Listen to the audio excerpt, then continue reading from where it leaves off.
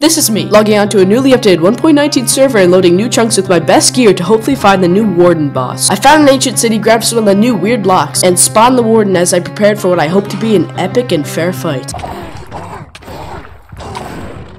He killed me in three hits. Fortunately, I managed to recover everything but my pride and went back to slaughter him like the little piglet that he is. It didn't even drop anything. It dropped a sculk catalyst. But killing the creature wasn't enough for me. It had injured my pride and Mojang had humiliated me. And I wanted revenge. You see, the developers themselves said that the Warden was too powerful to fight head on and that was meant to be avoided. The objective of the Warden is not so much to fight it head on. We want it to actually be more like you're avoiding it. I wanted to prove them completely wrong. And the way that I'd be doing that is killing their so-called almost unkillable mob with my fist.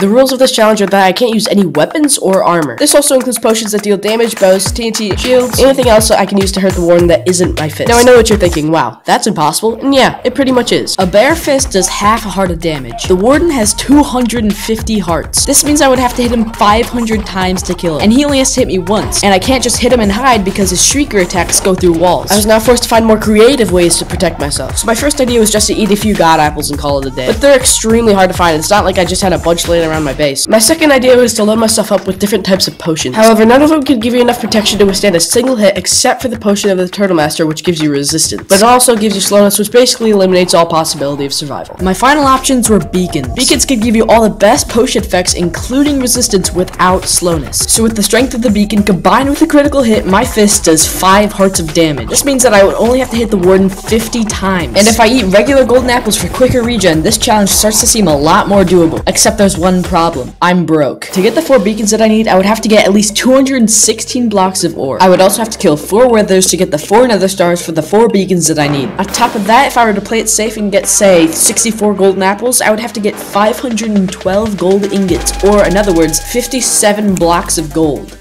Fortunately for me, a little while back, I had designed a small iron farm. Then another member on the server took that design and went absolutely insane. So I built this masterpiece full of iron farms. Let me show you how much it produces. See all these chests?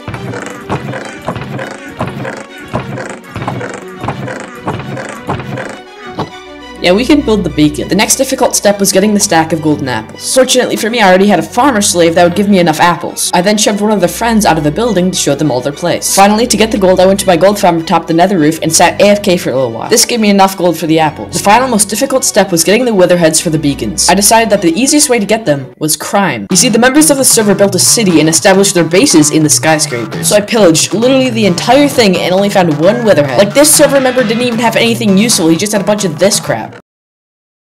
Wait, after I realized you can thrive off the hard work of others, I immediately got to work on a wither skeleton farm.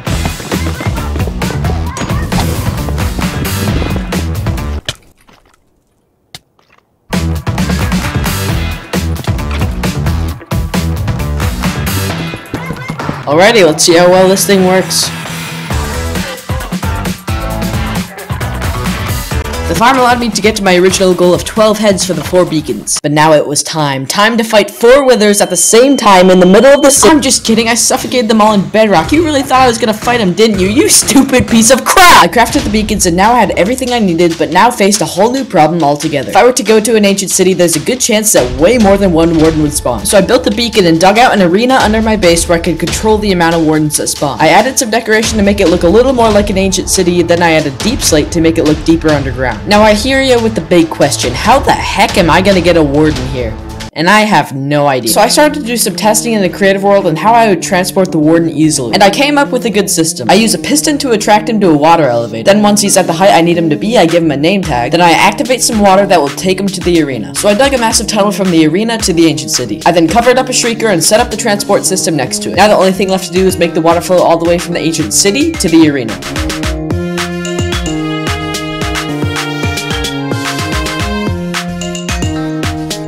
Also, I feel kinda bad since my last upload was two months ago, so to punish myself, and I know I'm gonna regret this, for every sub I get this video, I have to win a game of Skywars. So you know, if you wanna torture me, subscribe, and I will win a game of Skywars in your name. The time had come to spawn the warden and lead him down the passageway. I uncovered the shrieker and alternated jumping on it and scurrying behind the glass to safety. And sure enough, on the third time, it spawned. I started frantically flipping the lever hoping to attract it to the water elevator. As soon as it went up to prevent it from despawning, I grabbed it the most fearsome name tag I could think of. Billy. I went up my water elevator, tagged the name tag on Billy, and sent him on his merry way. After that, I myself hopped into the waterway, and pretty soon, after a little bit of AFKing, I had him right where I wanted him. For now, the pistons that I had set up earlier kept him from noticing me. But now, it was time. Time to face the moment that you have been waiting for and I have been preparing for. Time to fight Minecraft's strongest mob with my fist.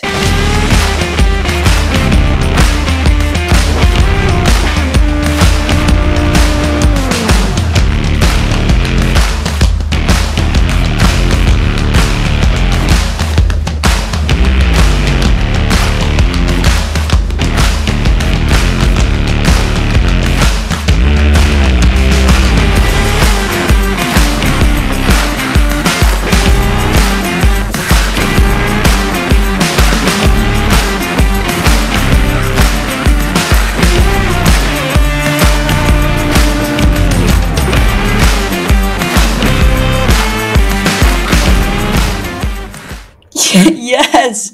Yes! Oh yeah, and if you notice a random dude running around, that was just another server member who wanted to spectate and cheer me on. He didn't actually help me or affect the warden in any way, he was just kind of there. So anyway, my pride is restored, and this is actually my first video over six minutes, so you know, uh... Congratulate me! Anyway, yep, that's about it. Like, subscribe, blah, blah, blah. Yeah, I'm out of here.